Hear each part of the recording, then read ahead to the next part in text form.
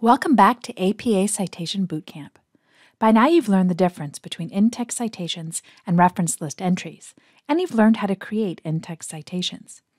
You are now ready to learn the basic parts of an APA style reference list entry, which is what this section covers. There are four key types of information that need to be included in a reference list entry. You need to provide your readers with the author of the work you've cited, the date of publication of that work, the title of the work, and the location where that work can be found. I like to think of these four pieces of information as the four W's you might already be familiar with. Who created the work? When was it created? What is it called? And where can it be found? What you will need to do is identify the information that will fit into these four categories. For a journal article, the name of the author or authors fits into the Who category.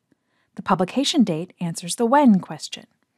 The information about the title tells the reader what the work is called. The Where category will be filled with the name of the journal, the volume and issue numbers, the page numbers, and the DOI number or URL. Put it all together, and it looks like the example here. At this point, you may be asking, what is the DOI number? The DOI number is part of your Where the Work is Located information, and DOI stands for Digital Object Identifier. It's a unique string of letters and or numbers that helps you locate digital information on the internet. Since it only applies to digital content, print articles you find won't have a DOI. For some sources, you will use a URL instead of a DOI. Basic reference list entries for books are similar to those for articles. You will start with the author or authors, followed by the date of publication, and then you'll include the title of the book. Since you won't have journal information to include, Instead, you'll provide the name of the publisher. This is the information about where a book is located. The resulting entry looks like the example here, similar to what you have for an article, but usually a bit shorter.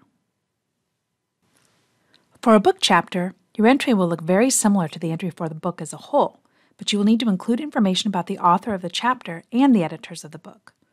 The author of the chapter, the publication date, and the title of the chapter supply the information for your who, when, and what categories. But your where category will need to include the editors of the book and the title of the book, along with the page numbers for the actual chapter cited. You will also include the publisher name you always include for books. The completed entry looks like the example here. Note that the editor information comes right before the title of the book as a whole, whereas the page numbers come right after it.